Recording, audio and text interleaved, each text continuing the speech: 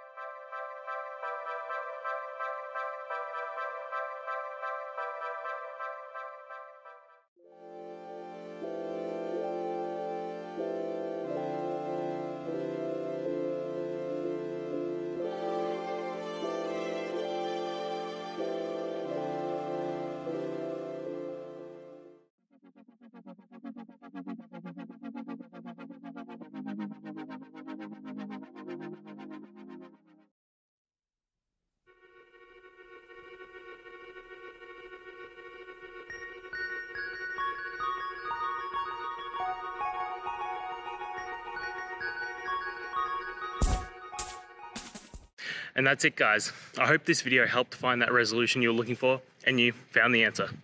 Guys, please hit subscribe if it helped, and I'd really appreciate it. I'll see you next time on another one of these technical videos. Have a good one.